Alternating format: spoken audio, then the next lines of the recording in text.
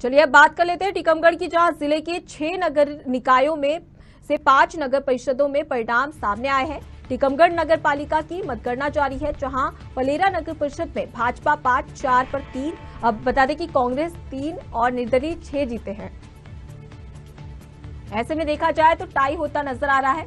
तो वहीं पर बड़ा गाँव धसान नगर परिषद में भाजपा सात, कांग्रेस तीन, निर्दलीय चार और एक टाई हुआ है तो वहीं पर कारी नगर परिषद में भाजपा छह, कांग्रेस पाँच, निर्दलीय चार, जतारा नगर परिषद में भाजपा सात, कांग्रेस एक और आम आदमी पार्टी ने एक सीट पर जीत दर्ज करवाई है। तो वहीं पर निर्दलीय प्रत्याशी भी पीछे नहीं है। छह सीटों पर निर्दलीय प्रत्याशियों ने जीत दर्ज करवाई है।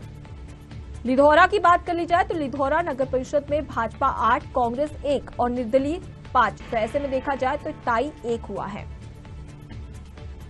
इस वक्त का बड़ा अपडेट आपको टीकमगढ़ से बता रहे हैं साधना न्यूज़ पर, जहाँ ज़िले की छह नगरीय निकायों में से पाँच नगर परिषदों के परिणाम सामने आए हैं। टीकमगढ़ नगर पालिका की मतगणना जारी है, जहाँ पलेरा नगर परिषद में भाजपा पाँच, कांग्रेस तीन और निर्दलीय छह सीटों पर अपना कब्जा जमा पाए। इसी खबर पर और भी जानकारी के लिए सीधे रुक करते हमारे साथ में संवाददाता सुधीर पटेरिया जुड़ चुके हैं। सुधीर टीकमगढ़ में नगरीय निकाय चुनाव को लेकर क्या अपडेट है? आपको बता दूँ कि जिस तरीके से माहौल बन रहा था उसको लेकर के आज जो टीकमगढ़ में मतदान की प्रक्रिया शुरू हुई और शुरू होने के बाद जो रुझान निकल के आए तो वहाँ पे पंद्रह सीटों पे कांग्रेस ने अपना कब्जा कर लिया जहाँ पे तीन सीटें निर्दलीय के खाते में गई हैं और नौ सीटें बीजेपी के हाथ में गई हैं। देखा जाए तो कांग्रेस को यहाँ पर एक बड़ी जीत मिली है। क्या वजह मानी जा सकती है कांग्रेस के लिए? जी मैं आपको बता दूँ कि इसके पहले भी महँगाई को लेकर के जो लोग मार झेल रहे थे मेन मुद्दा रहा महँगाई और लोगों को भाजपा शासनकाल में पंद्रह साल से जो मायूस होना पड़ रहा था हर काम के लिए भटकना पड़ रहा था उनकी सुनाई नहीं हो रही थी।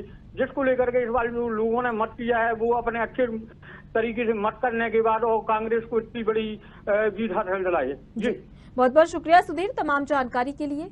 टीकमगढ़ से बड़ी खबर, जहाँ ज़िले की छह नगरीय निकायों में से पाँच नगर परिषदों के परिणाम सामने आए हैं, जिसमें अगर देखा जाए तो कांग्रेस आगे चल रही है।